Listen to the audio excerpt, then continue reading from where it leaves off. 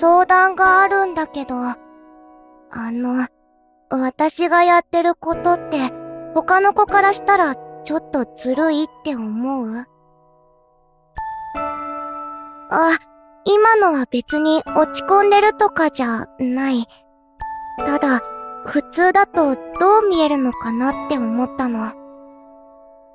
あなたや愛さんのおかげで SNS を見てくれる人すごく増えた。たくさんコメントももらって嬉しい。ニナちゃんボードのこと、私も欲しいって言ってくれる人もいた。リナちゃんボードは私がみんなに素直な気持ちを伝えることができる魔法の道具なの。でも、みんなそういうことは知らないから、スクールアイドルをやるための道具だって思う人もいるんだよね。顔を隠してるのは、やっぱりずるいことなのかな。でも、顔、見たいよね。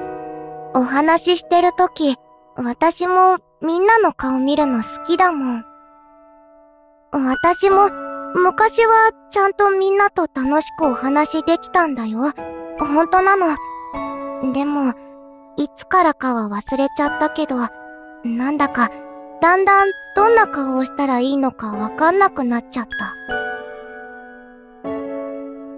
これが原因っていうのはないと思う。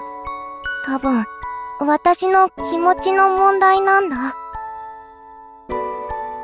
私の両親、二人ともお仕事が忙しくて、私が大きくなるにつれて、だんだん家を空けることが多くなっていったの。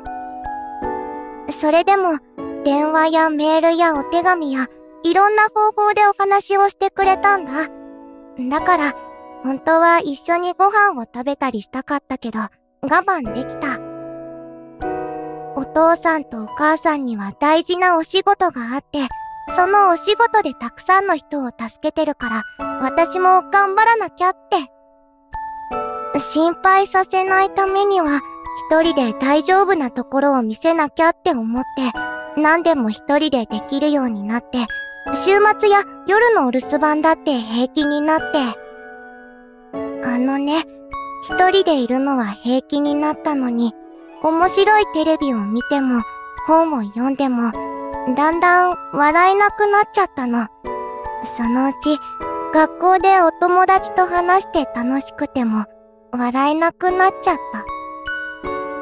それで、お友達とうまくお話ができなくなって、そしたら、もっと表情の作り方がわからなくなっていったの。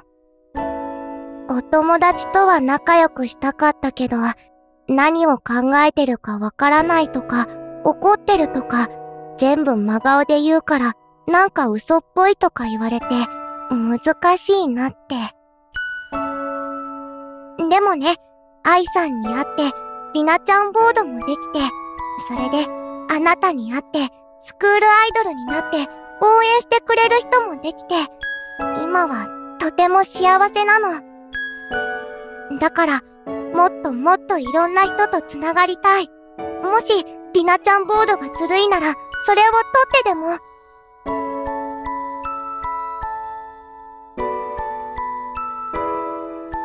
動画。わ